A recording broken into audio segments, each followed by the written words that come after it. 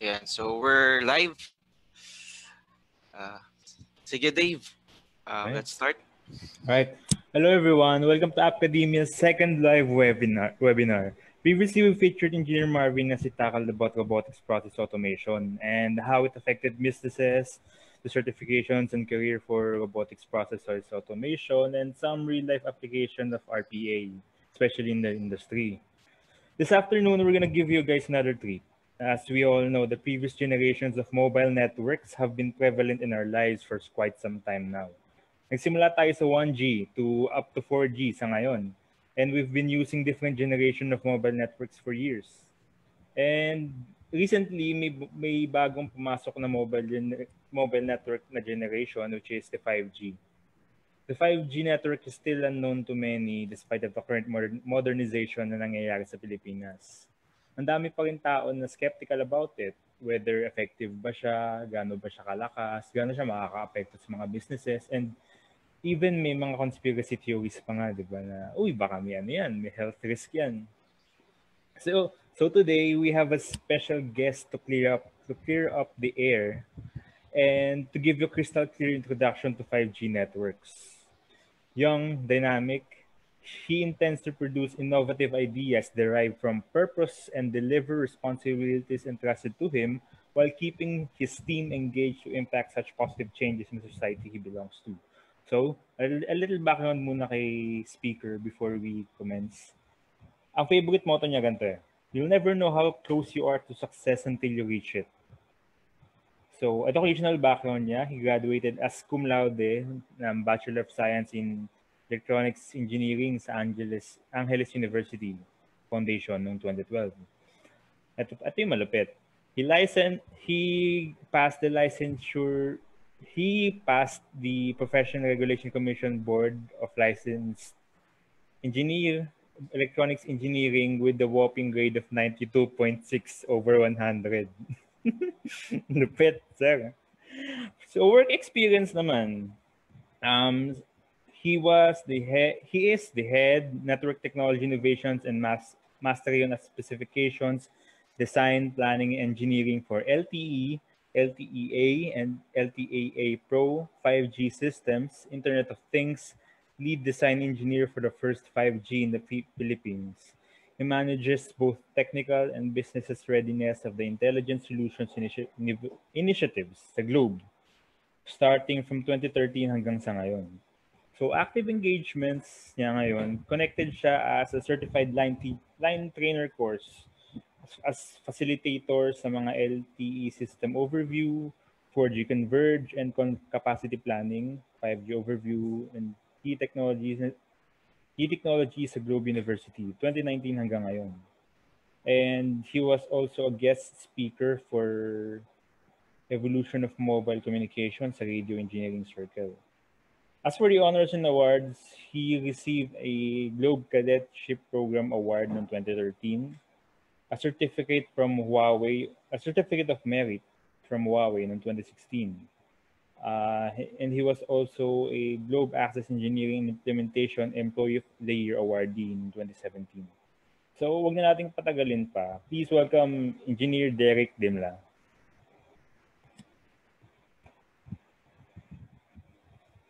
Hi, good afternoon everyone. So I think uh hope ano pala you can see me can hear me clearly as well. And no. Uh, nakikita ba yung video ko? Okay lang, no? Sige, let's start. Uh, so thank you for the introduction, Sir Dave. No, uh, Mm. you're correct. I've been working with Globe seven years, and uh, yun nga, no, the idea uh, when it comes to cellular technology development and even if Sure. being studied as part of our, uh, uh, of course, development ng, ng cellular technology, not only Philippines, but even on a global scale. So let me share my screen.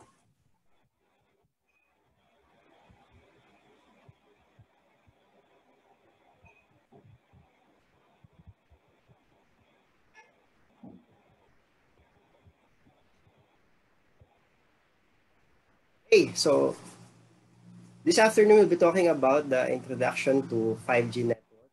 And uh, hopefully, now I can demystify it in, in, in layman's term and even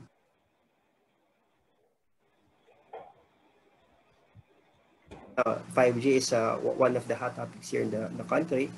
Uh, and pro it provides na yung, yung higher speeds and higher capability. So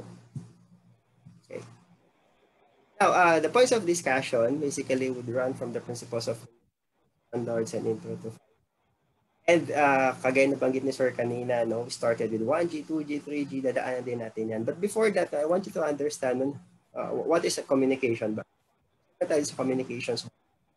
And from, uh, from you the, the quickest way to, to, to understand what's communication is you have to put it in Google and then uh, press the enter. No? You will see that it's basically, it's, it's just sending and receiving messages.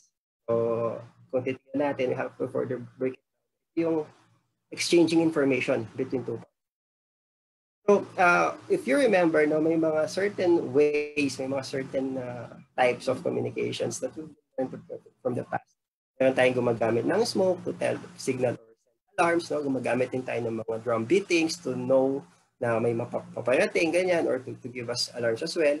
Gumagamit din tayo ng mga tambulin or yung mga horns to notify people of what may be coming or meron bang uh, sakuna or meron bang kapamakan.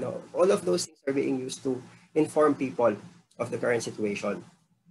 And uh, may mga kinuha din akong ibang types dito like yung ano yung yung uh, homing pigeons. So ito yung mga birds na ginagamit nila to send message across uh, across places and uh, kung mal- medyo malayong distance now they use these uh, pigeons or these birds para makapag-send ng information And uh, if you want to learn more about that, you can Google it.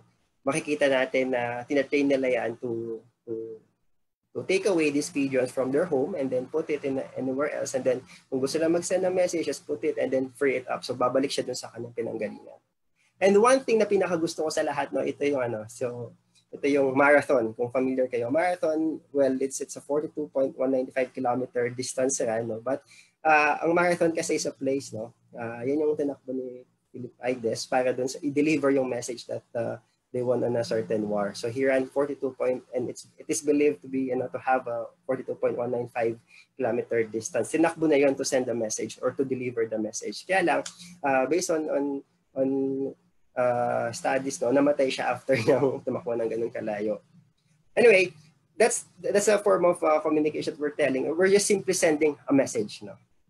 And uh, the system would, always, would only be completed if na-receive siya ng other end. So, yun tinatawag nating communication in an end-to-end system.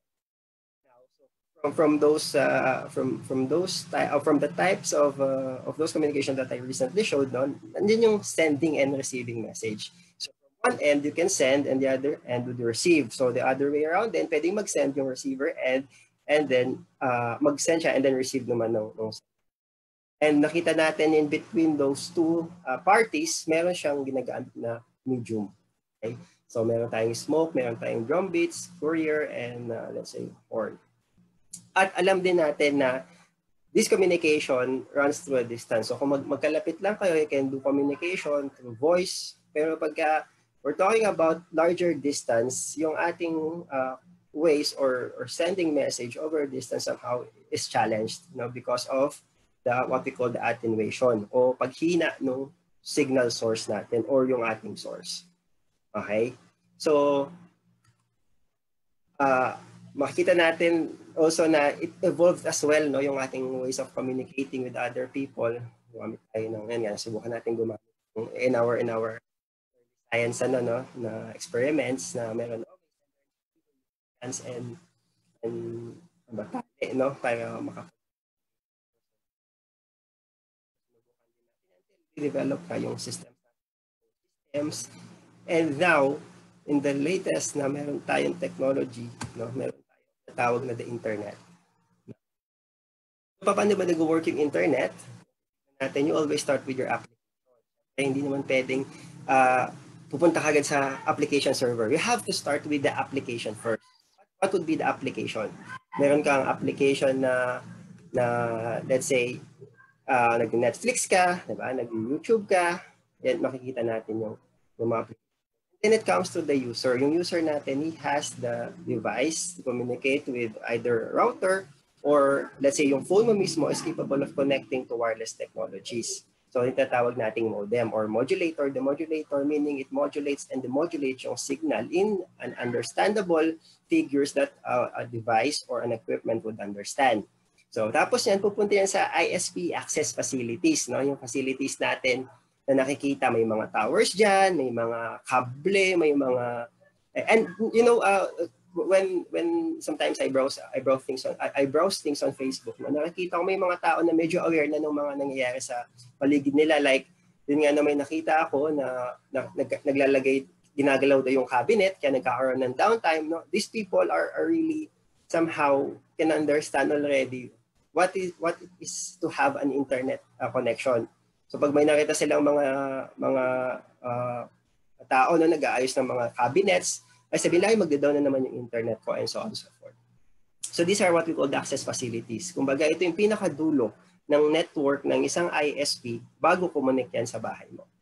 Okay? And we have the ISP4 network where it process billions and millions of data para lang maibigay or ma-direct sila, ma-address sila into certain application server where you requested your information. Let's say kung manonood ka ng Netflix, pupunta yan sa application server ng Netflix. So doon siya kukuha ng information and then babalik yan to the ISP core network to again to address it to certain access facilities through IP addressing and then pupunta yan sa modem mo, pupunta sa user and then your application. Okay? Clear clear pa naman?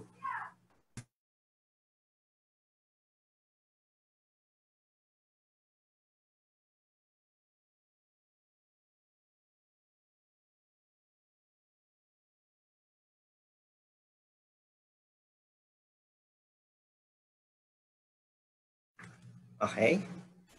Yan. Clear pa ba, sir? Still there? Narinig pa naman? Yes, sir. Uh, clear po, clear po. Okay.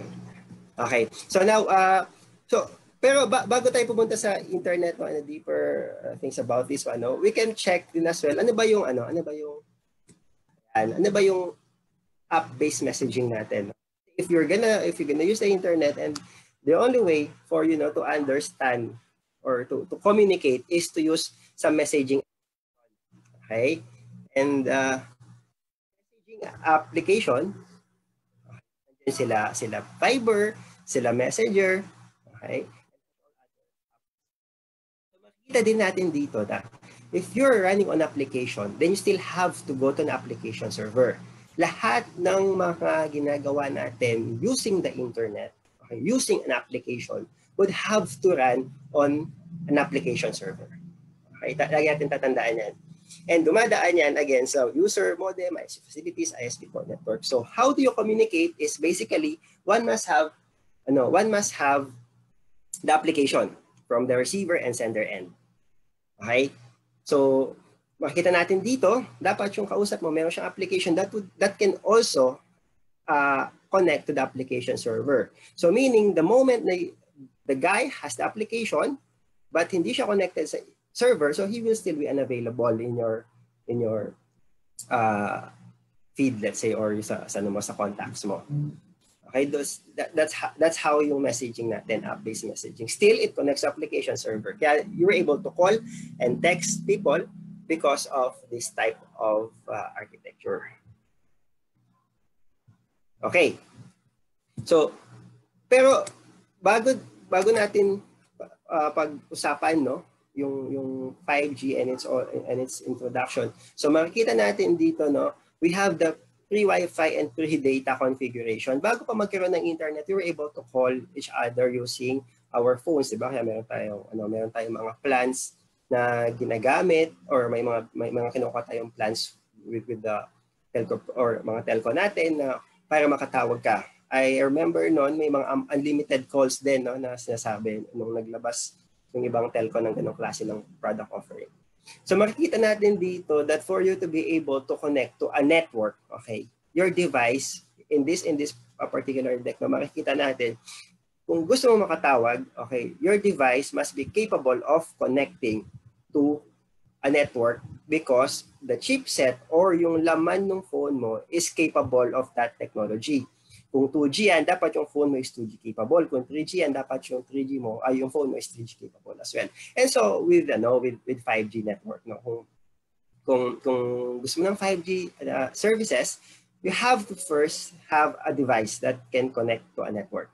Okay, so makikita natin dito in just a visual, visual representation, lahat ng mga uh, devices that are within the blue coverage, okay, natawag natin coverage yung blue, would be able to connect. Okay, yung mga iba na nasa labas ng coverage, okay, hindi sila nasa, na, nahahagip ng signal, so yan yung mga nagreklamo na, ah, bakit mahina yung signal, ah, bakit hindi ako makatawag, ah, bakit hindi ako makadata, hindi ako makakonect. So, that's a problem of putting up towers. No? E, even even putting up towers would actually uh, limit your your connectivity. It's because of the power that's being radiated by the tower. At alam naman natin na habang lumalayo ka, humihina din yung signal natin. That's why putting more towers is a more uh, intelligent way of resolve of solving these issues. No? lalo na kung may ano kung may mga tao tayo na i-serve in the area.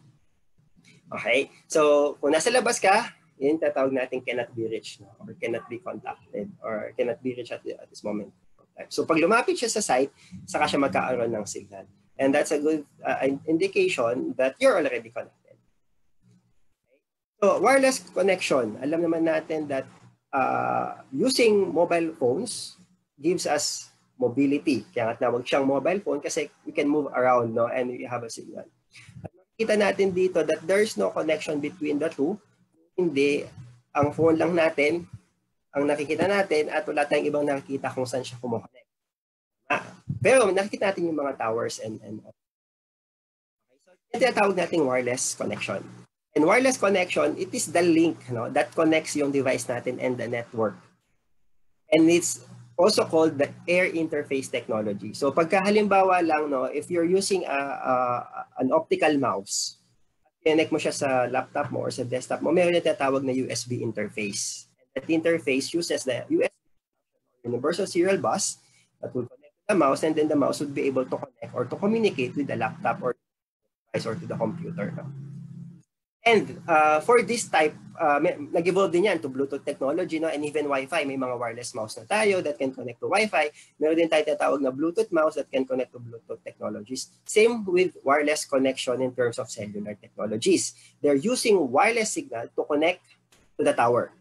Okay? Or pagka tinignan natin in a, sa isang sa, in a more technical way, ko-connect siya dun sa antenna na bumubuga ng links na tinatawag natin or what we call the air interface technologies. Yun yung 5G. Nandun siya sa wireless connectivity. Para lang maintindihan natin because uh, if you try to look the, at this one, no, okay, meron kang physical devices, meron kang, meron kang tower, meron kang phone, but what we cannot see is the link that connects the device and the network. Diba? Hindi natin siya nakikita. That is why, para lang maintindihan natin, I, I, I've used uh, representation here or visualization, no? Imagine this one. You have a tank and you want to transfer water to a certain pail or a bucket. At alam naman natin, dapat may purpose kung bakit ka maglalagay ng tubig sa pail. If you want to, to let's say, water the plants or magbubuhos ka ng tubig area, you would use that type of, uh, use that purpose para Again, same thing, same principle when it comes to getting information from you want to say to get what's the latest trend, you go to Facebook and then you browse, diba? So you're requesting data from the internet, from the from the community of Facebook. Ano ba yung mga hottest trends? Okay, you, you will have a purpose for you to be ano called na ano ka na, na in ka, di ba? Parang ganoon sa mga issues. And if, if let's say kung gusto mo naman ng news, you can actually download information from uh, variable sources. So makikita natin dito, same thing, no? You have to have a purpose din bago ka, bago mo gawin yung, yung isang bagay. And in this case, yung kuha ng tubig sa tangke. And alam naman natin na pag kumuha tayo ng, ng tubig sa tangke, then you, ganito ginagawa natin. May, may pipe tayo. In relation to what we call the mobile communication or the link. So you have to have that link and the link is yung tatawag nating hose o yung pipe. So, i-visualize lang natin, the moment I open the valve, yung nangyayari dyan is na-fill up yung aking bucket. And kung intindihin natin siya, nagkaroon kang tank na 20 liters daw ang capacity. Initially, meron siyang bucket, no? Ito, ito, and it was filled up full daw at 5 seconds. So remaining water in the tank now is 15 liters. What is the rate of try to break it down, may 20 liters daw yung tank and then after 5 seconds, naging 15 liters na lang. So ang naging displacement ng water is 5 liters. And that happened in 5 second, uh, 5 second period. Okay? So makikita natin dito, just calculating it, yung bucket capacity natin would be the 20 liters minus the 15 liters. So that would be the 5 liters. Ibig sabihin, yung bucket natin is 5 liters full. Okay? And then yung transfer niya is 5 seconds. Okay? So ngayon, magkakaroon tayo ng rate of transfer. So meron na tayong uh, transfer with respect to time. Same with uh, same same sa communicating uh, when communicating using uh, wireless technologies, no meron tayong with respect to time. Kaya for now, no, kung makikita natin yung mga data data na na ino-offer natin are usually rate at speed with respect to time.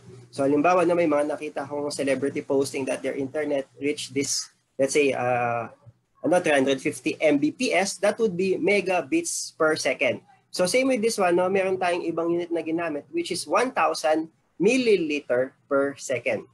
Same din dun sa data na tinatransfer natin over the air. It is measured, the data Pagka mas malaki yung number, meaning mas malaki yung megabits or millions of bits that we are transferring over a period of a second. Okay? So ginagamit nating time is second.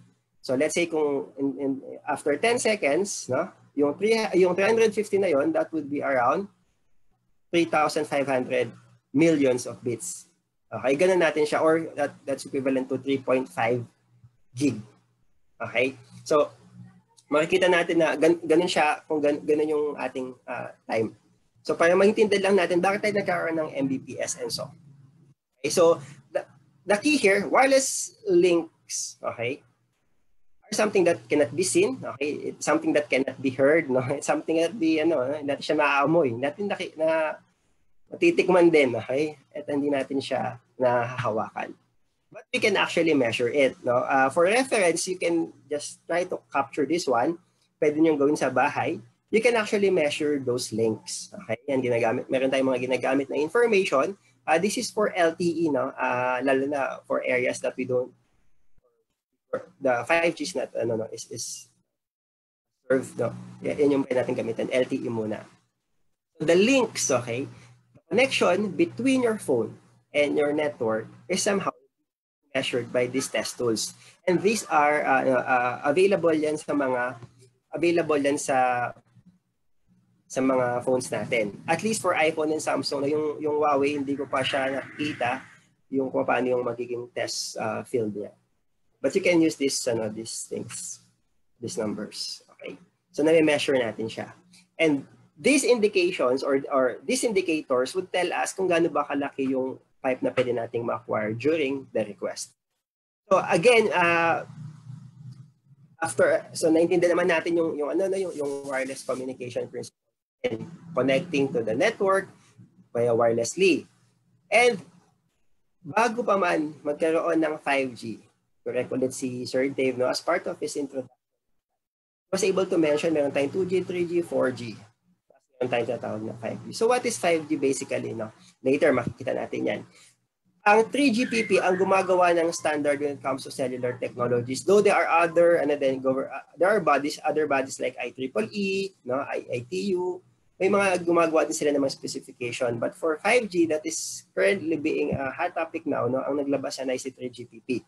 Si 3GPP ay third generation of private-public partnership where it's, uh, binubuo siya ng iba't ibang organization sa buong mundo and the intention, the, the group is intended to create technical reports and specifications. Specifications meaning ito, ano ba yung tatargetin natin na speed, ano bang network ang gagamitin natin. So lahat yun pinag-uusapan nila into three technical support groups or tinatawag nating TSG. So sa case na to, makikita natin, meron lang naman tatlo on the left side na available uh, uh, na, na prominent which is the RAN, CT, at saka SA. Si RAN, ito yung tatawag natin Radio Access Network. So sila yung gumagawa ng mga access technology, sila yung nagde-design, ano ba yung specification, ano bang technology, and so on.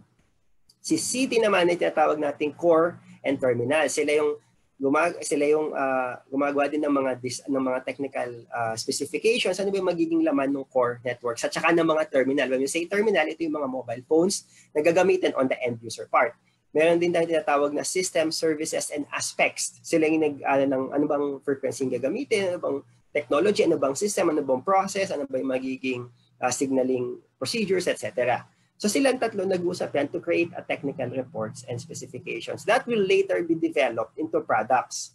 No, ito na yung mga products na ginagamit natin. Meron tayong end devices, meron din tayong mga core networks na ginagamit ng mga telco, may mga ginagamit din ng mga core functions na makikita. Lahat niyan, pasok yan sa 3GPP standards. Okay? So sila yung naglalabas ng mga standards. So now, 5G more than a technology as we know it, no? 5G as a technology. Bago siya, or or better na tawaging standard muna siya bago tawaging technology. Kasi, well, 5G, madami siyang technology within. Okay? At lahat ng mga technology na yon, the technical reports are, or, or yung mga, yung mga capabilities niya are written on the technical report and specification. So lahat ng yon na nakalagay sa 3GPP are being followed by uh, local and regional na, na mga uh, deployment groups. Like halimbawa, sa case ng Pilipinas, meron tayong dito Smart and Globe as telco. Sila yung network. No? Tapos may mga devices provider din tayo, the Samsung, Huawei, Oppo, Vivo, uh, Apple. And syempre, dapat siya gino-govern niya ng, uh, ng isang committee no, to tell us, ano, i-regulate niya yung paggamit ng frequency naman. Or ng mga, kumbaga ito yung mga highway na ginagamit natin para, para ipadala yung data.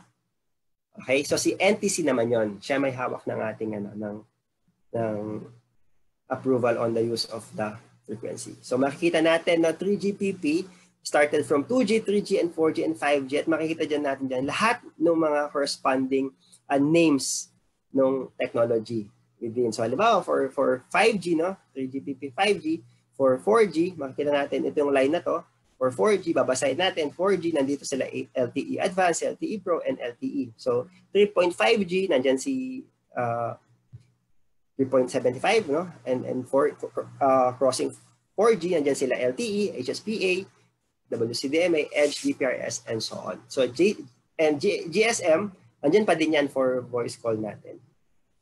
Okay, so if you want to learn more about 3GPP, you can just visit this one. Again, 3GPP, is the, uh, is the standardizing uh, standardizing body no siya yung gumagawa ng mga technical reports and specifications to tell us kung ano yung magiging standard natin for a certain cellular evolution lang uh, 3GPP has a project coordination with ITU so si ITU is, is the International Telecommunication Union wherein may mga objectives sila to create specification uh, on 2020 so yan ito yung target nila to have 20 rate, user experience, spectrum efficiency, lahat ng yan. Uh, well, ang familiar tayo dito would be siguro itong latency. No? Latency is what we call the delay. Uh, round trip delay na yung measure natin. Lalo na familiar kayo kung ano ka, kung, kung gamer ka. Dapat yung latency mo below ganito para at least maging uh, wonderful yung experience mo. Okay, meron din tayong natawag nito. Familiar din tayo dyan, data rate. Okay, user experience. So meaning ito yung magiging experience ng isang user. Okay, so si 3GPP nandito siya. Ito yung eight governing ano natin, uh, eight organizational partners. Okay? At nakikipag-coordinate sila with the ITU para mag-produce ng mga standards. Okay, so si ITU, nagkaroon siya ng IMT 2020 Vision. Ito nga yan, yun yung green na yan. Okay, however, makikita natin here that bago pa maglabas ng specification si ITU IMT 2020 na target, naglabas na si 3GPP. Okay, so are two different organization. Kung titignan natin dito, ay sorry.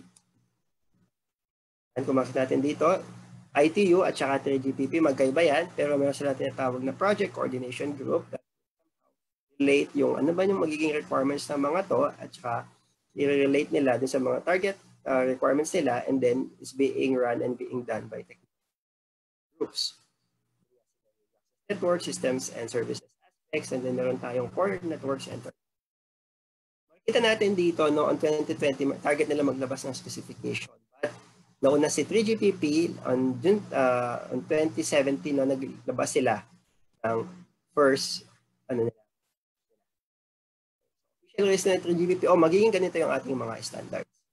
Later makikita natin yan. Makikita natin yung mga standards na sinet nila. Now, uh, how do we realize 5G? 5G is wireless and it works on power, frequency, bandwidth, and antenna. Wireless technology siya. Okay? So kung halimbawa, yung phone mo, yung device mo, connect siya, which is impossible to happen, connect yan sa sa network using a wired, uh, a wire, no? hindi yan natawag na 5G. Eh, that, hindi mangyari talaga yun kasi wala namang, wala namang wire uh, capability yung phones natin. Okay? So, um, may mga key na lang, may mga key concepts na, na gusto kong i-share with you kasi later makikita natin na 5G has shorter coverage. Later makikita natin yan.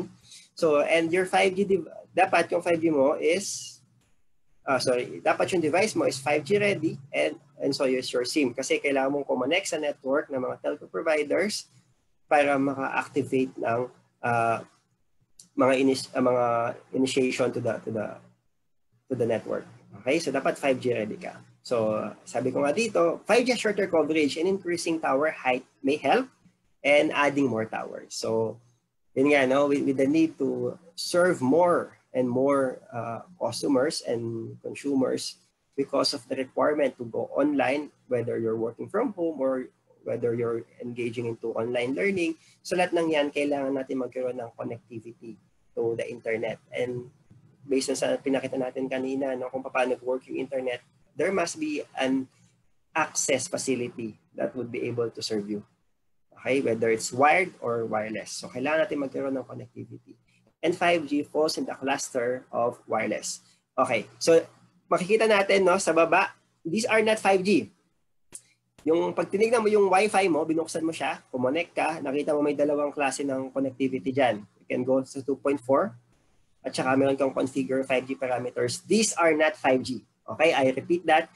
The 5G or 5 gigahertz na nakalagay na binubuga ng Wi-Fi mo, if your router is dual band, is not a 5G as 3GPP uh, stands or uh, deliberately na ginawa nitong 5G standard. Hindi siya related sa Wi-Fi. Wi-Fi is IEEE standard and it's a totally uh, it's totally different from from the 5G 3GPP. Okay? So, again, hindi to ah, hindi to ang 5G. Yan nakalagay dito, these are not 5G. And not, at saka ito, yung Biomax 5G, hindi yan 5G ah, na So kung may 5G ka daw, minum ka ng ganyan, uh, hindi ka tatamaan yung sakit na pinapadala ng 5G. So those are not 5G things. Okay. Hindi sila 5G related. Baka ibang 5G yan. Okay. So now, uh, 5G basic specifications. Number one is key technology uh, ang drawing natin dito is towers kasi it's wireless. So bubugayan ng power at makakonect ka to your mobile phone. And specification applications, makikita din natin yan later. Ang basic 5G ni ano natin, benefits natin, it will give us higher throughput. Okay? And of course, capacity and quicker response. Yung main features ng 5G natin. So when it comes to pag sinabi nila, oh, ano ba yung magiging, ano ba yung magiging benefit ng 5G? And quicker response. Makikita din natin yung uh, KPIs niya. Ayan. So pag sinabi natin higher throughput, it aims to target a 10 Gbps of throughput. Okay, pag sinabi natin throughput, it's also same with speed. Yun yung minimeasure natin per second pinakamaliit na measurement ng tao ay tatawag na second. Kasi alam pag makikita kayo ng, ng friends mo, let's say 2 o'clock, okay, afternoon, so that would be uh, 200 diba? and 00. So makikita kayo ng 2.15, that's 2 minutes and 5, uh, sorry, 2 hour, 2 o'clock in the afternoon, after 15 minutes, diba? Tapos kung sabi mo naman, no, sige pre, andyan na ako in, in, in 10 seconds. Then you start counting 1, 2, 3. It's the smallest unit that uh, any human can understand. So anything below that, pwede tayo mapeke. Like yung sa, sa mga movie screening no, or sa mga motion picture, if there are more than, I think, 28 frames per second, pwede natin ma, ma, ma-fake yung mga mata natin. Okay? So now, uh, for the device specifications, tignan lang natin dito. Uh, if you're trying to buy a phone and you want a 5G capable device, ma-realize yung 5G connectivity is you have to check ano ba yung speed niya. Or uh, network. Okay? So makikita natin dito for technology nakalagay 5G and then specific din tayo sa bands dapat. So mayroon tayong tatawag na SH. Okay? Okay? Here on other phones, meron silang tinatawag na bands. Yan mga nakalagay yung mga numbers which are very critical when it, uh, lalo na pagka naghahanap tayo ng, ng phone. And ito yung medyo bago, no? I, I, Apple iPhone 12 Pro Max. And I think for November, ano pa ito eh, expected to announce 2020 October pala. So that's next month. Uh, wala din siya nakalagay kung ano yung magiging bands na mga bands na applicable siya. Again, bands kasi are somehow ano eh, uh, dependent on on the country that's being deployed. So makikita natin dito na device specification niya, very critical. Dapat tingnan natin na 5G capable yung device mo and dapat uh, 5G bands ready sila. Okay? And even yung technology, yung mga lahat na makikita natin later. Okay. And uh, alam, naman, alam naman natin that all of the devices, lalo na pag, pag 5G or anything related to frequency, bumubuga man yan, dapat dumadaan yan kay NTC for type approval. So, sabihin naman nila kung ano yung mga bands na ginagamit natin at na type approve lang sila if they are within their bands na na pasok dun sa atin. Okay? And uh, to give you more idea, no? Uh, lalo na kung bibili kasi kayo sa ibang bansa, no, very critical na i-check muna natin yung mga bands. Kasi baka mamaya 5G phone ka, pero let's say European yung band na gamit mo, baka hindi siya pumasok sa network natin. Okay? Those are the things that you might want to consider when buying or purchasing a 5G phone. Now, uh, higher throughput, tignan lang natin yung kanina, no? Remember yung tank natin. One thing why we're having a good throughput or better throughput than the existing technology, which is yung natin, if they be compared with the pipe uh, size, so makikita natin that the pipe size of 5G has a bigger one on the right side. So, ang magiging application, again, gusto nga natin na malaman natin ano ba yung magiging purpose on why we're putting this up uh, a little bit higher than the previous one. So, kaya natin magkaroon ng purpose. So, ang ginawang calculation dito is based on a year. Let's say, ilan ba ang gusto kong, uh, ilan ba yung consume ko na tubig in a year if ganitong range yung aking gagamitin na or ganitong size ang aking gagamiting pipe. Assuming that yung pinanggagalingan tubig mo is unlimited, okay? Pinanggagalingan ng tubig at makikita natin dito that the 100 ml per second na pipe, okay, yung size na smaller, uh, makikita natin it will only consume 3.154 million liter of water lang. Okay? So 3.154 millions of uh, million liters of water in a year. Okay, sa kabila naman makikita natin uh, that is 10 times no better kasi magkaroon siya ng 31.54 millions ng, ng million liters of water. So maging application niya would be let's say if you are a farmer and you want and you're on agriculture, so mas madami kang madidiligan na halaman as compared dun sa mayroon kang 3.154. So mas madami kang maproproduce na crops, mas madami kang assuming no, assuming na, na we're in very good condition, wala tayong consider na weather, etc. You have an advantage over the left na, na 100 ml per second lang because mas madami kang madidiligan ng water, mas madami kang maproproduce na crops, mas madami ang mabibenta mo on the market, mas mataas ang ROI mo in a year. Okay? Pain mo. Okay? Now, uh, makikita din natin dito, no, na mas madami ka talaga magagawa in a year as compared sa sa kabila. Okay, that's a good thing about this one. So same thing no if in in cellular technology the more information that you have, okay, the more things that you can do. Again, uh, kung sasabihin nating lahat pantay-pantay, okay? Kasi uh, again, there are some na, na depende kasi kung anong gag- sa magagamitin yung information eh. If you are relying heavily on data, lalo na kung you're, you're on analytics, 31.54 million bits of information in a year is bigger as compared to, to 3.154 millions of bits. No? Mas madami kang ma-process na data, mas marami kang makuha realization, mas madami kang makuha ang business inputs, and so on so, so forth. Depende sa application. So the more data, bigger. Pero again, it's what we do with what we have. So kung ano, kung ano man yon, you're taking advantage of that millions of bits or you're receiving or millions, millions of information, then magiging advantage sa yon. Pero kung halimbawa, pinapark mo lang yan, hindi mo lang ginagamit, hindi rin siya, masasayang lang din siya. Okay, so again, uh, the throughput, the higher throughput here is caused by the bandwidth. 5G has a bigger bandwidth as compared to LTE. At naman natin that you can put more bits inside, inside the pipe if you are running on uh, 5G bigger bandwidth capacity. Ito, these are not specific numbers, but for visualization lang, makita natin that you're gaining uh, 3.5 better than uh, ganyung kind of pinosent natin, no? Big 3 at saka 31. So that's Okay, so alam naman natin that the wider the bandwidth, the higher number of bits are transferred over a period of time. Again, napaka-critical dito na pagsabi natin over a period of time because yun yung nanggagaling yung bits natin per second. Okay?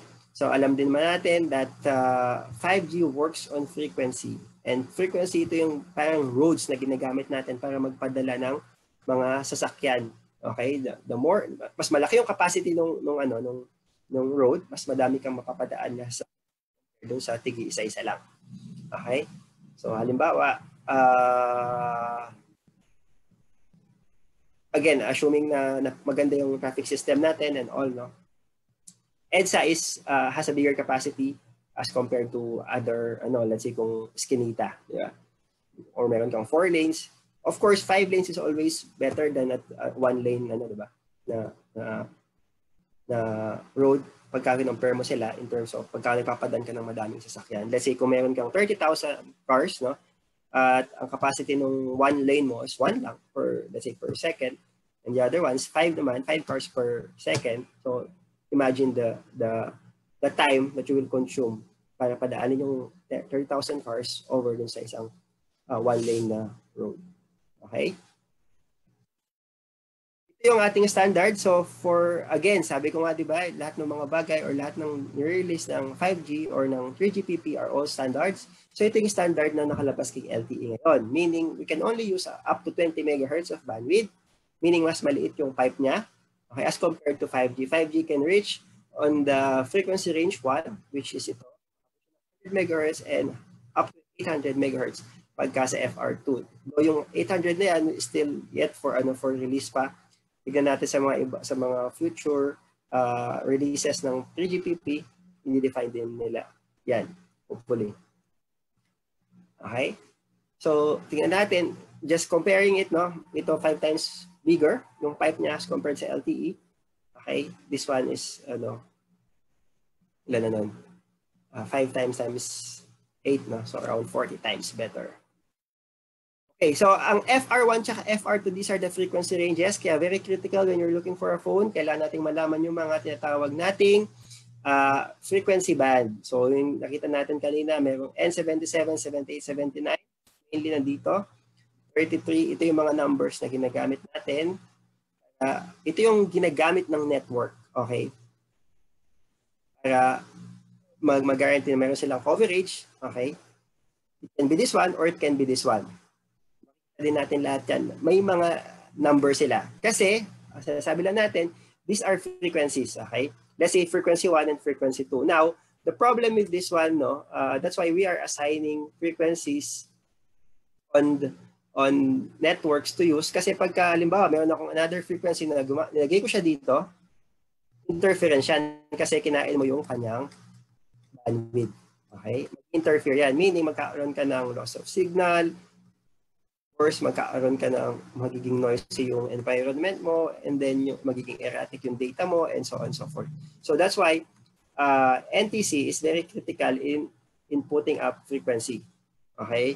So critical yan sa natin sa pag-design ng wireless technologies. So, spectrum and the use of frequency is very critical. Kaya here, no, naka-define na talaga in every country ang anong gagamitin uh, frequency. And within this one, may mga ina-allow si NTC na ng mga different telco kaya magkapaglagay ng 5G. So when you're trying to to well, lahat naman ng phones kasi lalo na kung darating sila sa Pilipinas, check ni NTC kung inallow niya frequency for 5G use, kaya ita-type approve nila kung bang yung mga devices na papasok are with uh, they set.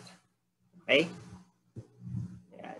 So, yan yung mga frequency bands natin. Kaya, critical no, when, we, when we're checking for a device specification, yan, nakalagay yung mga numbers.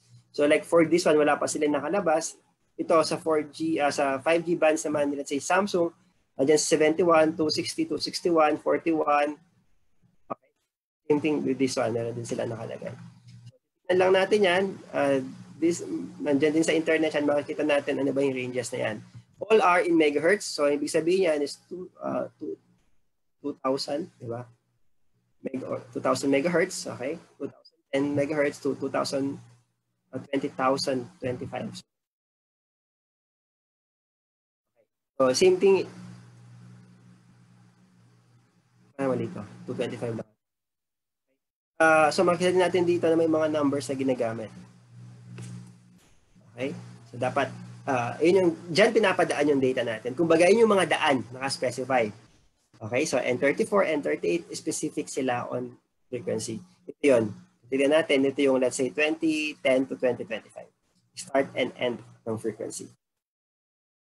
Okay, uh, makikita natin dito, FR1 and FR2, orange and red, nandito sila sa tinatawag natin electromagnetic radio spectrum. Sabi natin dito, nandito yung ranges ng FR1, nandito din yung tinatawag natin frequency range 2. So makikita natin sa taas, this is the wavelength.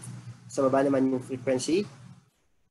Natin, uh, increasing wavelength, pababa, okay, pero tumataas yung frequency natin on papunta sa left. Papunta sa right, tumataas yung wavelength kasi because of this formula. Alam naman natin yung uh, that the frequency is inversely proportional with your wavelength. So habang tumataas yung frequency mo, okay, umiiksi yung wavelength mo.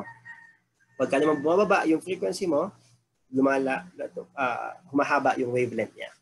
Okay? Dahil, tingnan natin dito, dito. Halimbawa, ito, di ba? 1 hertz after hertz, no? Hindi siya, it really hurts na, na word. So, hertz talaga. So, even it's 1, hertz pa din. So, this one is the wavelength of 1 hertz. Okay, 1 hertz. So, okay. Hindi siya it really na nakita natin sa time, halimbawa for 1 hertz, no? Ito yan. Ayan yung tinatawag na wavelength. Okay, for one cycle. Okay? Ngayon, yung 2 hertz naman natin, ito siya. 2 hertz, ganyan siya. Kaya lang, again, kung titignan natin yung cycle niya, for one cycle niya, hanggang dito lang siya. Okay? Kasi ito na yung magiging wavelength niya. So, mas maliit siya as compared dun sa wavelength nung nasa taas. Kaya habang mas mataas siya, lumiliit yung tinatawag nating wavelength. Okay? Ito na yung wavelength na mas mataas na frequency. At dyan natin sinasaka yung ating data. At yan din ang nakadefine dun sa frequency ranges ating electromagnetic spectrum. Okay? So, habang tumataas yung frequency, lumiliit yung bandwidth. Habang tumataas naman yung uh, lumiliit yung bandwidth, tumataas yung frequency. Pag tumataas yung frequency, okay, lumiliit yung ating Pababa naman yung frequency, tumataas din yung ating number to. Okay. So now, uh, again, if you're, like, lalo na sa first question na nakapost sa poster na to, na ang tanong nila is that, uh, ano ba yung health risk niya? Kung titignan natin sa electromagnetic spectrum, makikita natin that that the uh, visible light is here, okay? Nasa malayong wave pa siya as compared to FR2 and ultraviolet uh, ultraviolet comes here. So ultraviolet is coming from the sun. So pagka nagbabad ka sa araw daw na mas matagal, di ba, you're prone to skin cancer because of the ultraviolet rays. Kaya naglalagay tayo usually ng mga skincare products like yung mga pamblock ng uh, UVC, A, B, and G, di ba? Binablock natin yan using creams. So, kaya kung tatanong ano ba yung health risk niya, okay, uh, think about ultraviolet, nandito siya, yung 5G, nandito siya, at saka nandito. Okay? At yung increasing energy, as alam natin na habang tumataas, lalo na pag x-ray, di ba? We're only parang require or or encourage na pagka nagpa-x-ray ka as much possible one once lang a year, no? Para ano, kasi napakataas ng energy nan. to pass through sir, to, to your body, no, kailangan mo na mas mataas na energy para makatagos ka within your, your body. And gamma rays yung pinakadulo. It's very dangerous to our health. At makikita natin that uh, this radio frequency spectrum is what we call the non-ionizing. So starting ultraviolet, yan yung mga ionizing.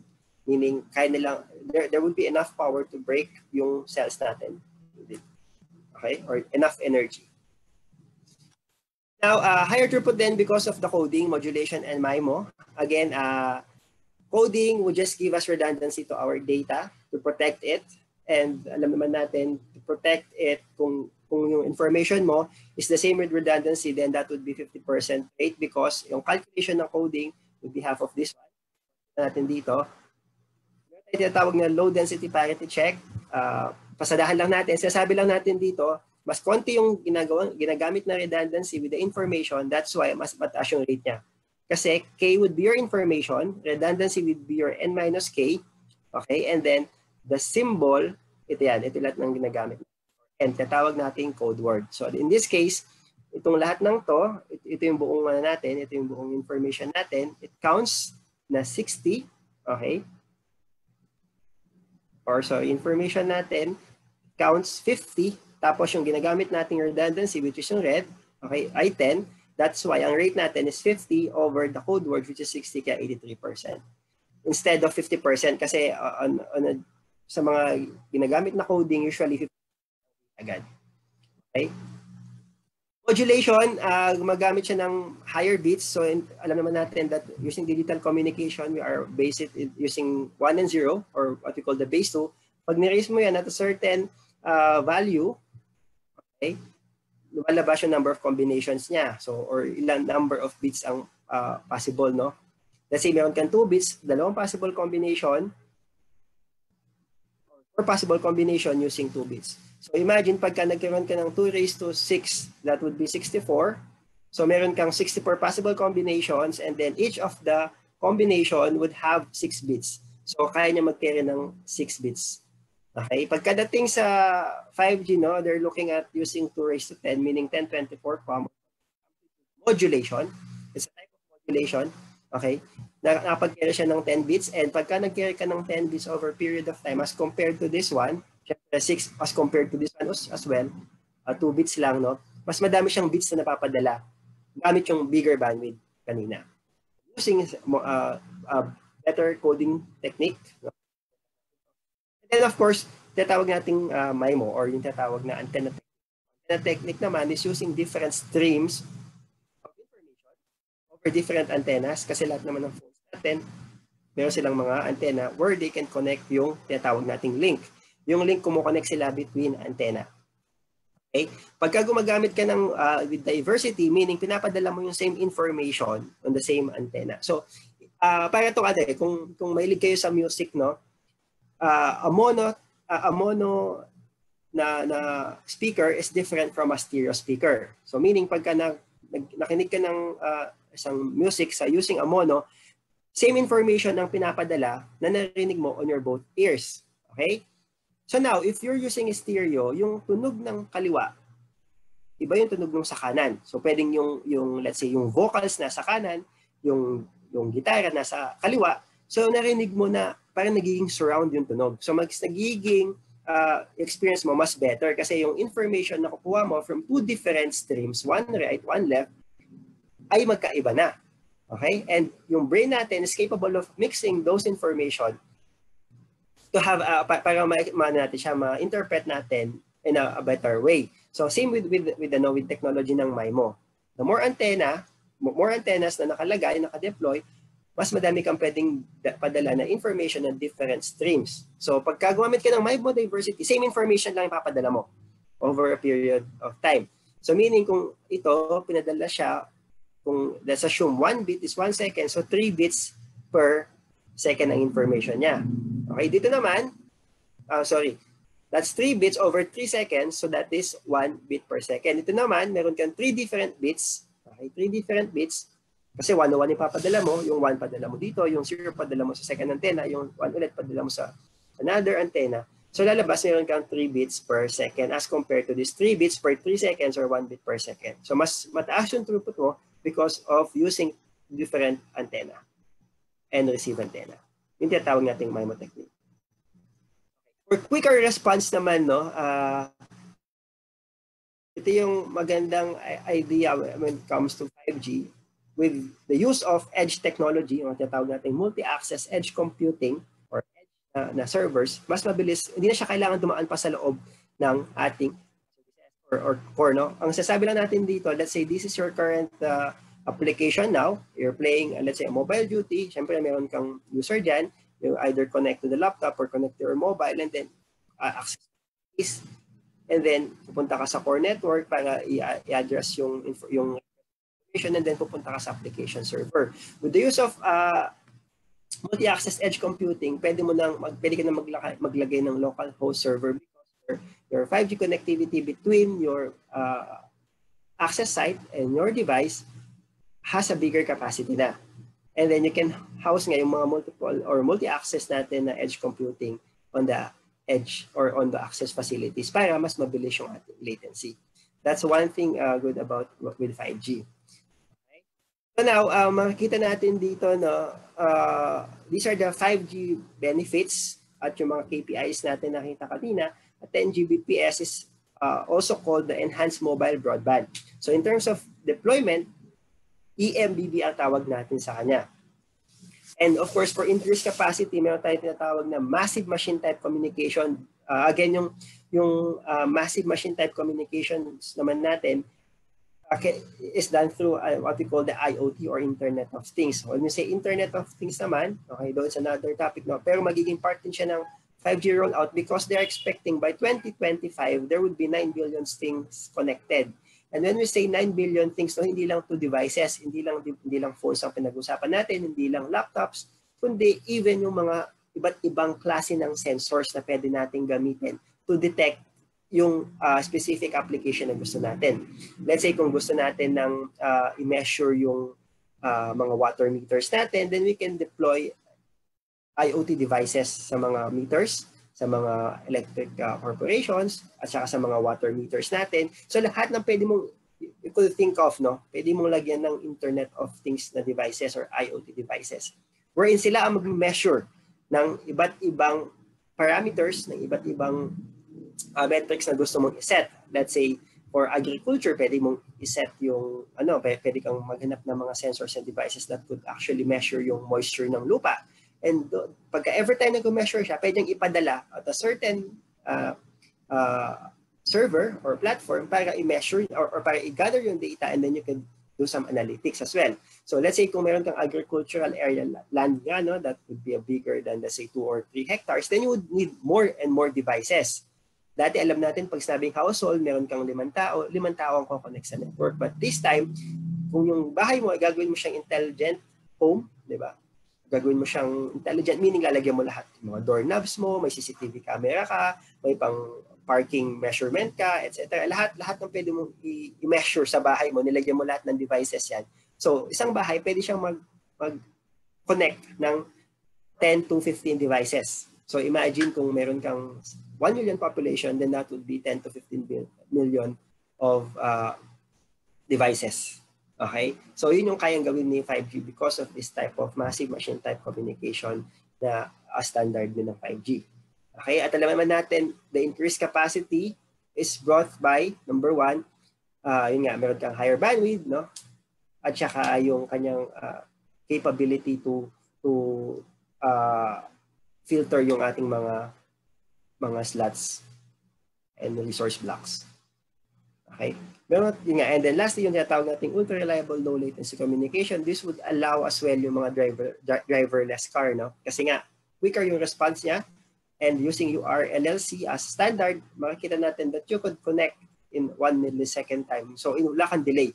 Alam na natin with 1 millisecond, no, anong nagagawa ng response na yon. Kung halimbawa kung nag-drive ka, 1 millisecond na response, let's say na measure niya na merong uh, merong merong bagay sa harapan mo, let's say the car measures na may, may sakyan sa harapan, it would respond in 1 millisecond time. So better pa yung uh, reflexes niya, okay, as sa human reflexes natin.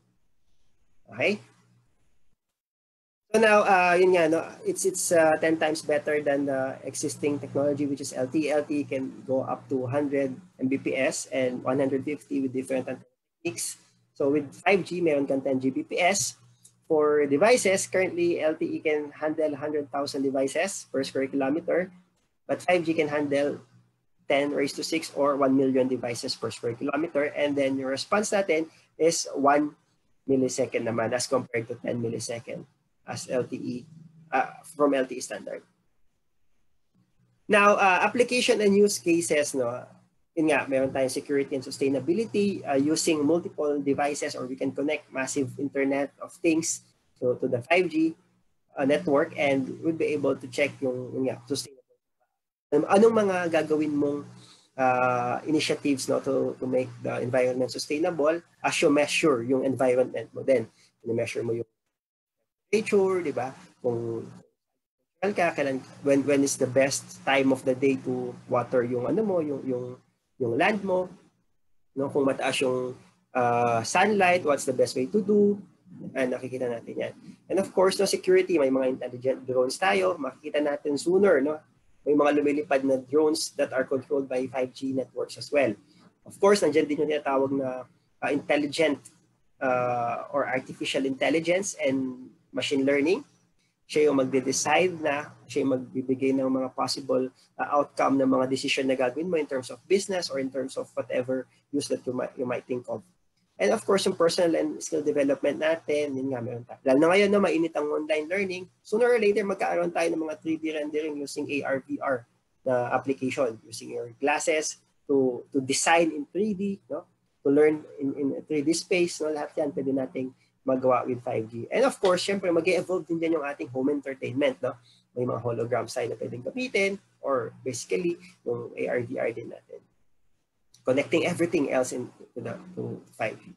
And of course, yung mga, syempre, di mawala yung mga social media application natin, no? Uh, for 5G, let's say if you would require bigger data, nga, kung mag, later, no, kung ang messenger would, would kung mag-hologram din tayo dyan, then you would be needing higher bandwidth connectivity. And of course, yung mga personal variables natin, mga pag-check ng heart rate monitors, again, lahat nga ng mga maisip natin, physical things that might, uh, that are able to to measure, no? Yung, yung current uh, settings or environment or yeah, heart rate, monitor, uh, o monitor ng uh, sugar, no? Pwede yan. And of course, mga industries like automotives, na yun nga, paggamit ng mga driverless car, paggamit ng, ng mga kung sabi natin driverless car, may, may tao sa loob, wala lang nagda-drive, okay? Meaning yung yung yung driving uh, yung functions ng driver ay nagagawa na through the network. And of course, yung mga industries natin, yung industry 4.0 as well, makikita natin dyan that yung uh, mga machines natin or robots natin are controlled in a 1 millisecond time and responsive sila for production and manufacturing. And of course, yung tatawag nating intelligent city, lahat ng mga devices na pwede nating ilagay dyan to measure or to control yung yung traffic lights, uh, mga security cameras, no? Lahat yan, given that 5G can handle 10 uh, 1 million devices per square kilometer, then you would be able to connect all of these devices. Okay? So now, uh, architecture niya, uh, so ngayon, meron tayong tinatawag na NSA. Uh, give me more tinatawag nating uh, NSA or non-standalone. Kaya dun sa devices natin kanina, nakita natin yung mga terms na to, NSA tsaka SA. Okay. Meaning, kung NSA yung device mo, then it, it would be able to connect to the 5G as well. Kaya dapat tingnan natin kung NSA or SA. Third stage of 5G, no, gumagamit tayo ng NSA, meaning dumadaan mo na siya kay LTE para magkaroon ng initial discussion or initial signaling kung tawagin natin. Okay, sila mag-usap, oh, ano ka ba, valid ka ba na 5G user? Meron ka bang uh, activation ng service? Meron ka bang enough uh, load para ma-access ang 5G network? Available ba yung devices mo? Lahat ng initiation at saka control nandito lahat yan sa 4G muna. So pag nakita niya, ah okay, valid user ka, bibigyan na kita sa 5G for download. Okay? Yan ang ginagawa niya. And again, hindi natin napapansin to sa ating side because this happens uh, this this uh, signaling process happens in millisecond time. So pag nakita niya valid 5G user ka, binibigay ka niya kay 5G for data. This is what we call the NSA and it is heavily dependent sa LTE. Without LTE in the area, then you would not be able to connect to the 5G network. Okay? So kahit na may coverage ka, kung wala, may coverage ka ng 5G, kung wala kang LTE, then wala din. And for SA, no, ito yung magiging uh, uh, future niya and roadmap niya na yung yung ating 5G is totally separate ano na siya, entity from 4G. So yung phone mo can connect to 4G and 5G as well but with separate. Kahit na wala ka ng 4G dyan, no, kahit wala ka ng 4G dito, you can still directly connected o connect to, to 5G. Okay? Ito yung pinagkaiba ng NSA at SA natin. So, ngayon, kailangan natin talaga ng LTE to connect sa 5G natin. And uh, this would be the last one, no? So, ang limitations lang currently, no, kasi 5G nakita natin dun sa ating uh, uh, ating frequency ranges, lalo na dun sa nasa L7778, madami kasing deployment international, uh, locally and globally na gumagamit sila ng nasa 3.5 gigahertz na range. Okay, so ang problem doon is, okay, your 5G downlink, okay, pagka nagpabuga ng information, yung site mo, yung tower mo, pababa sa phone mo, it can reach this uh, far, no? makita natin sa phone. Pero hindi siya makakapag-uplink. It's because yung limitation ng phone mo, because it's using uh, uh, battery, yung power, ng output power ng phone mo, pabalik ng site is limited as well to 23 uh, milliwatts. No? At makikita natin dito yung difference ng downlink mo at uplink kasi communication, again, communication is sending and receiving and vice versa. So pag nag-send naman yung, yung during downlink, nakikinig yung phone mo from the BTS or from the site or from the tower. From the tower naman, alam naman natin, it is powered by by ano no, by by commercial power. At mas at naka-plug siya. Alam na natin na mas malakas siyang bumaga, bumuga as compared dun sa mobile mo na napakaliit lang because of the mobility because of mobility purposes, hindi siya ganun kalakas din pabalik sa site or limited yung power niya as regulated and, and nga, based sa specification natin, ganun lang kalakas yung pwede iba. Kaya limited lang yung power niya here hanggang dito. Okay?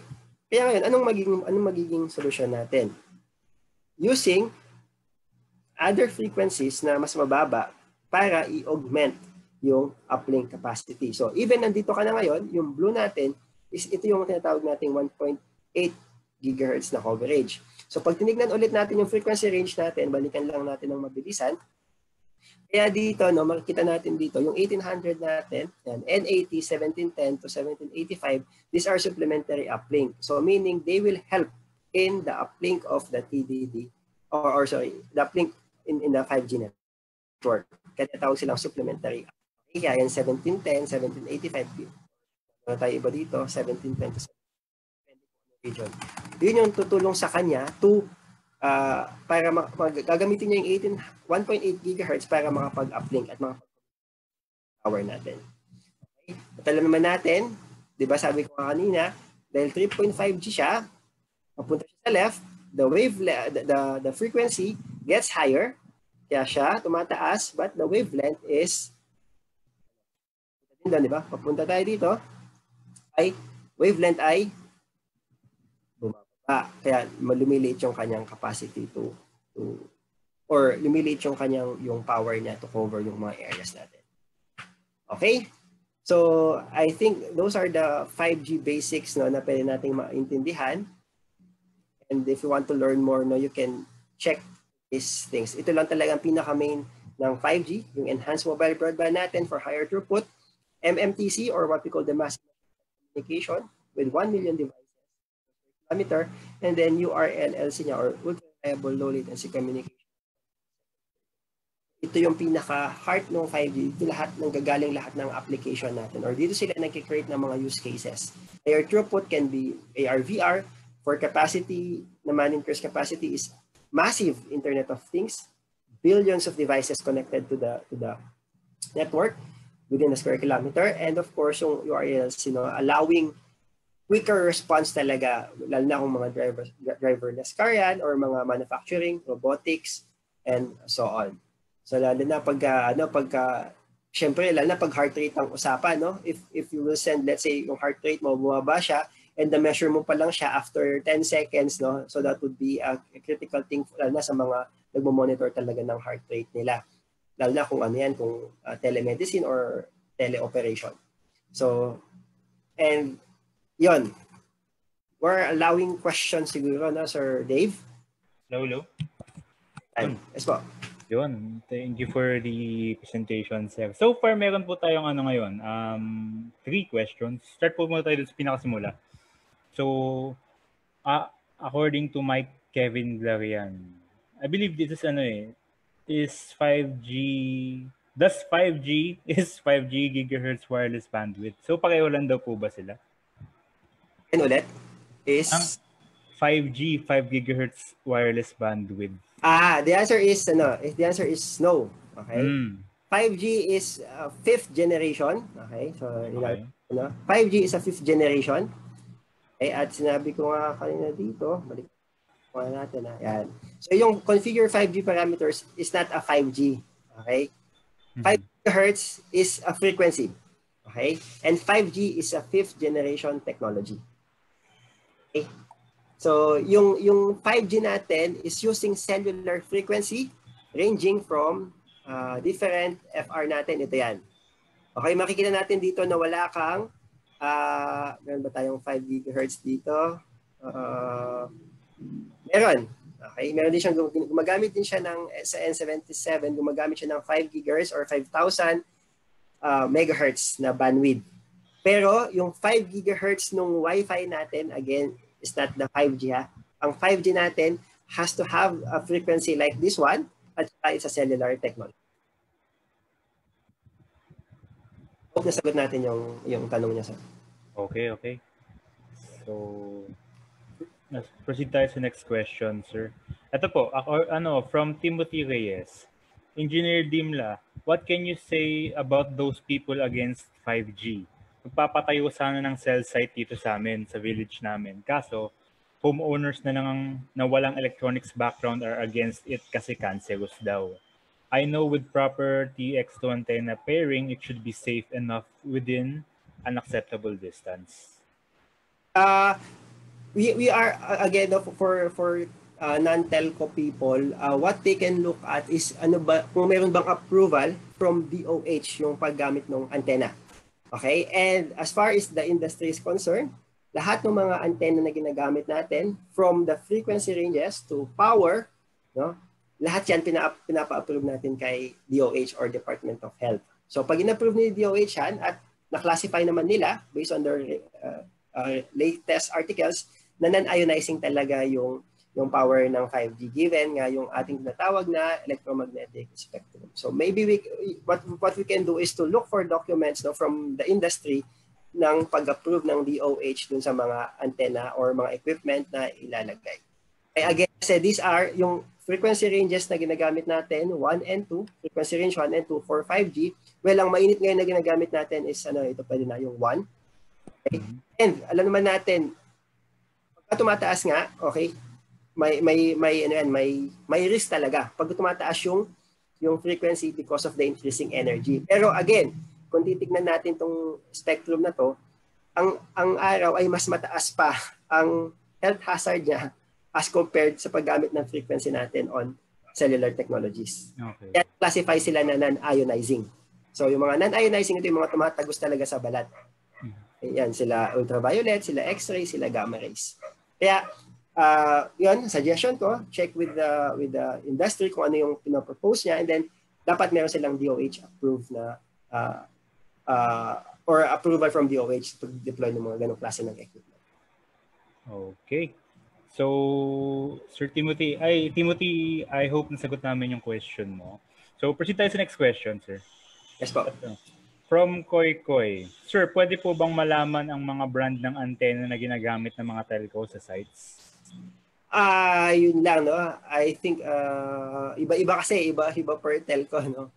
Pero madami tayong mga brands diyan no. Some, some of the some of the known brands, yan sila Atrine, sila well madami, may mga may mga Huawei, may mga uh, RFS, no.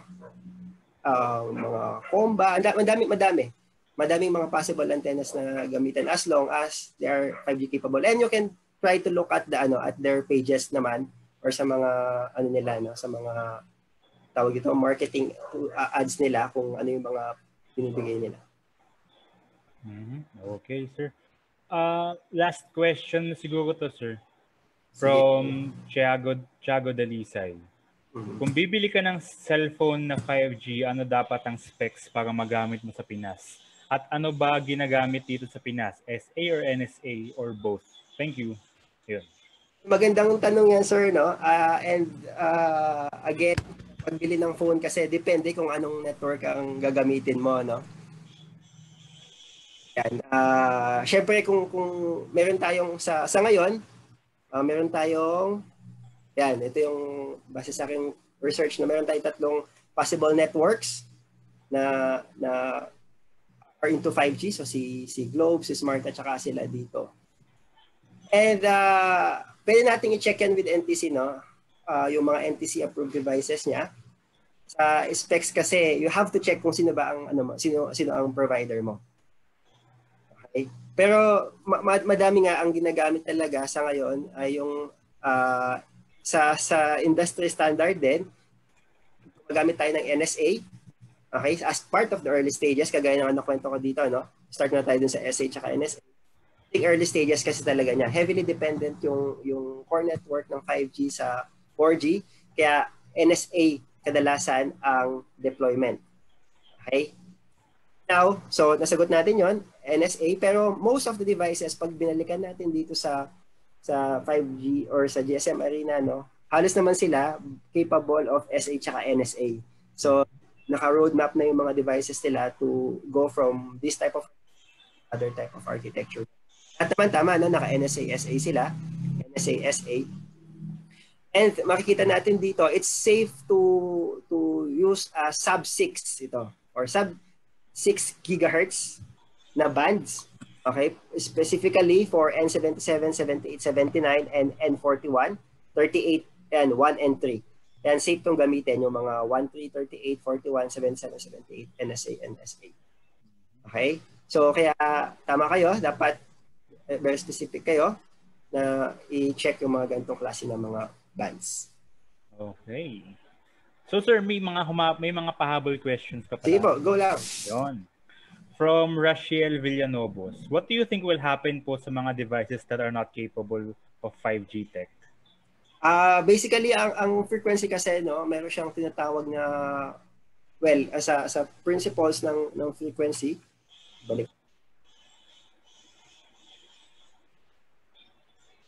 Sa principle kasi ng frequency, pagka hindi sila pumasok dun sa band mo na ginagamit, let's say uh, you are operating and you're communicating using a different frequency.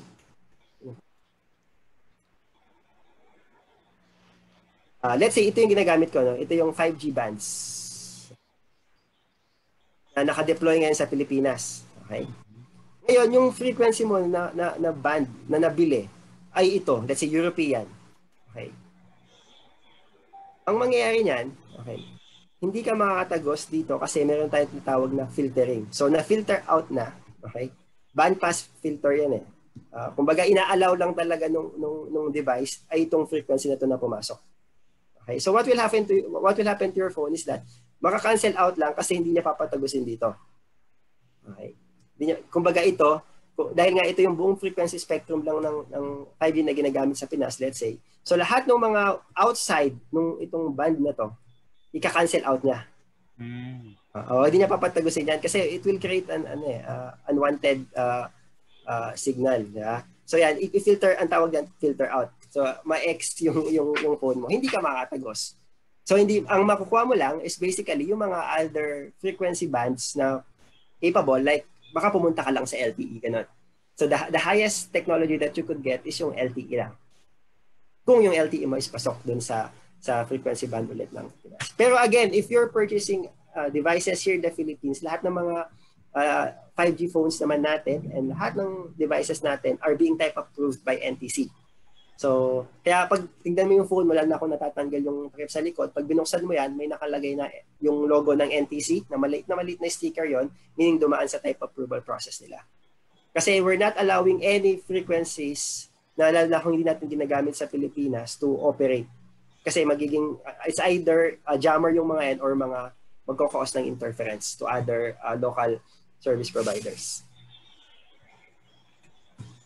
Yan. So, sana sagot natin yan, no? Yung tanong niya. So, Sir, may... Sige, okay lang. Go lang. Go. Go, sir. Shoot. Okay, okay. So, thank you, Rachel, for that question. So, next is si David Diaz. Sabi niya, based on 10 Gbps max theoretical speed ni 5G, what is that all for is that for all users sharing a cell tower or paghahati-hatian pa ba ng lahat ng users yun? Correct. Nga, uh, magandang question yan. Pag tinignan natin yung ITU, uh, even yung uh, natin to, kung makikita natin sa graph na to, no, there are already two things that you you have to check or you ha- we have to understand. No? And natin ngayon is peak data rate at saka yung yung tinatawag nating user experience data rate. At makikita natin that the peak data rate is different from the user experience data rate. While the peak data rate is 20 Gbps, yung user experience rate natin runs from 100 to 1,000 ano, 1,000 Mbps or 1 Gbps. Bakit kaya? No? Bakit natin kaya bakit kaya natin bakit natin na sabing na ganun? Kumbaga, ang taas ng data rate, peak data rate ko, pero yung user experience ko is lower than the the peak data rate. It's because the the the the cell or, or yung tinatawag nating coverage ng 5G, sinishare yan sa lahat ng possible uh, uh, connected users. Okay? At ang, ang tawag natin doon, do uh,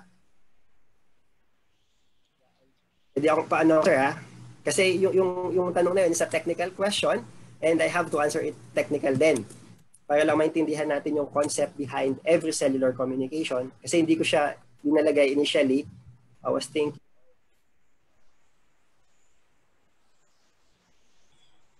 one ano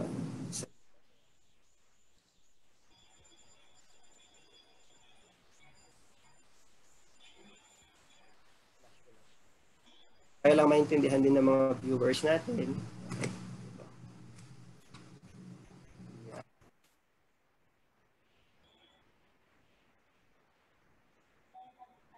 Yes, sir, nakikita ba?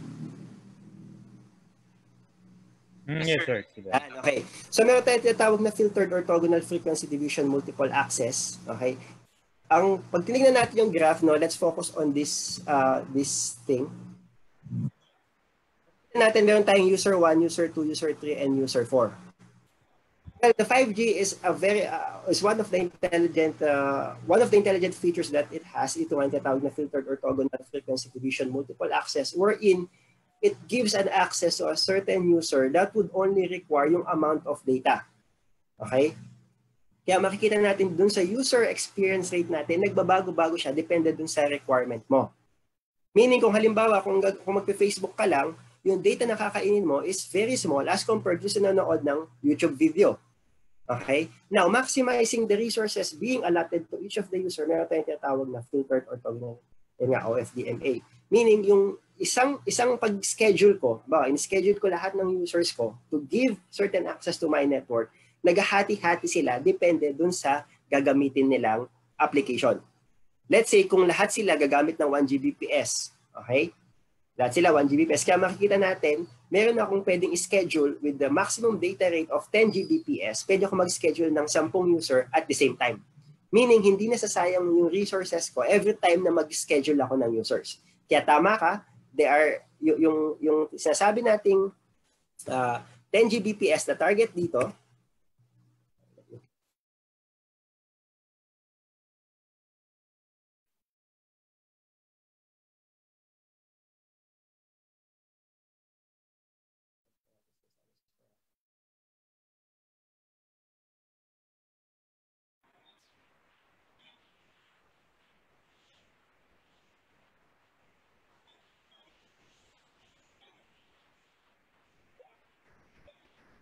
Yung sinasabi natin 10 Gbps dito, what we call the enhanced mobile broadband, paghahati-hatian pa yun ng mga users. And again, yung, yung, yung speed mo would always be dependent dun sa magiging requirement mo. And again, kung titignan natin yung device capability ng mo na, na nurses. Kaya makikita natin din dito sa ibang devices dito, no, naka-specify din yung mga ano eh, yung mga speed. So halimbawa dito, no, for LTE, nasa 2,000 Mbps lang for downlink and 200 Mbps for up. Minsan naka-specify talaga yan per devices. Alin yung, ano ba yung processing power ng processor mo pagdating when it comes to cellular. So, naka, naka, naka-indicate yung mga yan. Pero I think the highest na nakita ko is 1 Gbps eh, or 2 Gbps plus yung nakita ko na pinakamataas. Meaning, pwede with the with the 10 Gbps na capability ng tower or ng site, no? Pwede ako makapag-schedule ng 10 or more. Depende sa paggamit ng iba't ibang techniques or more users using 2 GB or let's say 1 to 2 Gbps per second. Again, ang scheduling natin is nakabase siya sa sa 1 millisecond. And that happens in a millisecond period ha. So, hindi natin siya mapapansin per meaning sa isang sa isang segundo, di ba? So, one second is composes per so equivalent to 1,000 milliseconds. So ibig sabihin makapag-schedule na ako ng 1,000 times within a second ng mga iba't ibang users that are being shared on that one one tower. Ayan. So sa sana sagot natin 'yon. Kaya yung user experience natin, iba siya sa tinatawag nating uh, data peak rate. Okay, user experience always depends on what application and depende din kung ano kung kung ano yung radio condition mo. Kasi this is wireless eh. Ano yung magiging radio condition mo?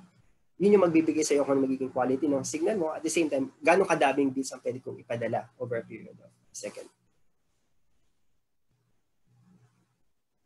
Yan. Yung patangi sa sir na, go, shoot. Ano pa isang question natin? Hello, Dave. Ano daw yung last question? Meron patang isang question, no?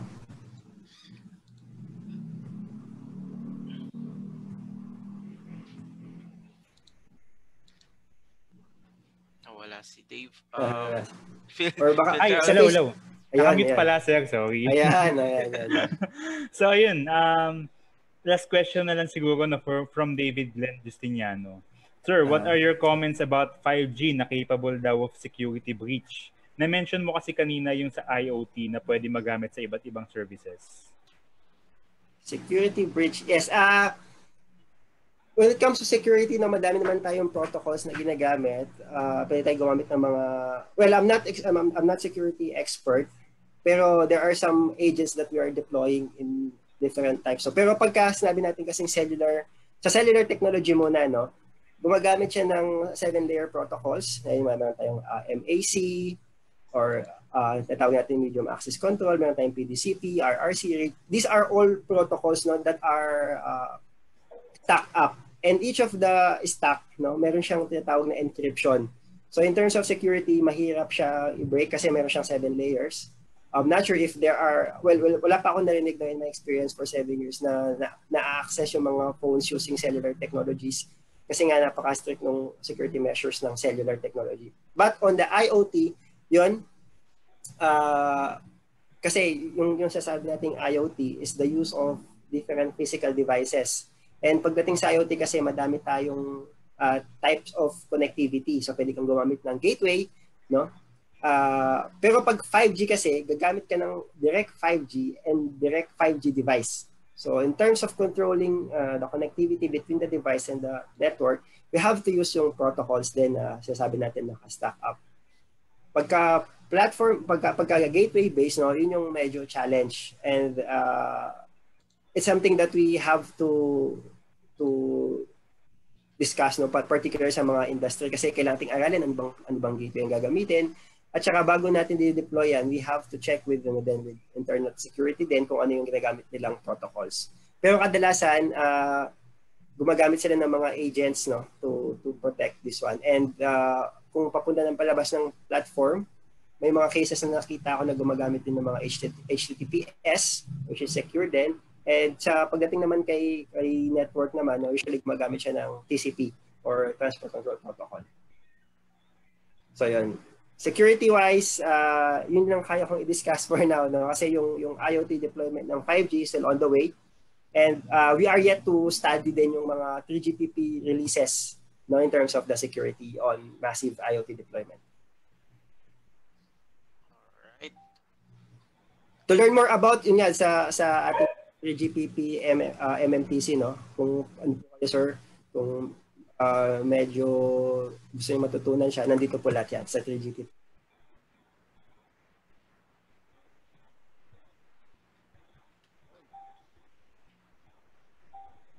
Okay. Uh, that concludes the ano the person hello sir okay na kayo Yes, sir okay na. Yeah. ayun that Uh-huh. concludes the presentation for introduction of 5G networks I hope marami kayo natutunan today uh, madami rin sana kayong na clear sa head nyo about speculations about 5G and whatnot and then you've learned today how 5G really works on how it connects to from application to a device to the server, di ba? So, uh, yun. Any additional comments, sir? Any additional plugs or anything you want to say? Ah, siguro magbe-base lang ako lagi dito no. Ah, lagi kong gustong sabihin to. Part na to. Again, ah kasi ito yan.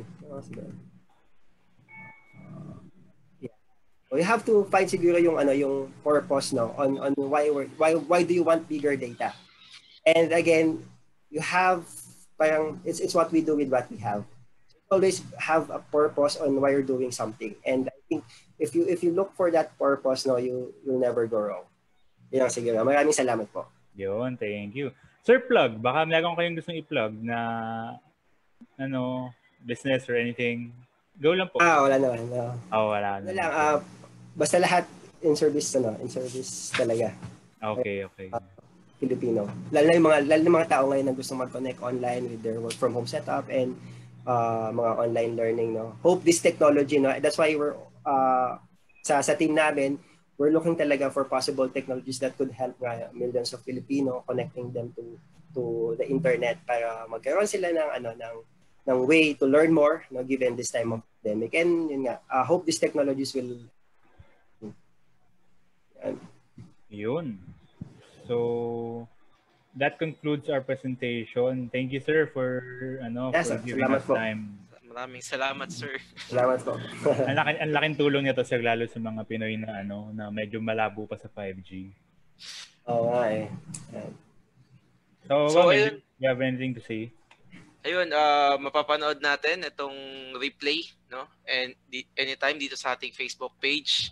And we will be posting din um, this also sa ating YouTube channel. Sana makita dun sa mga ah, recommended videos. Ito. Kasi magandang topic siya and very informative lalo at nanggaling sa isang expert yung Yes. details. Ayan. So again, salamat po. Sige Dave. Okay. So yun nga, that concludes everything. Um, I'm hey, I'm Dave Molina, the co-founder of of Appacademia, and Romel, pakalala ka. Uh, I'm Romel po, uh, founder ng Appacademia.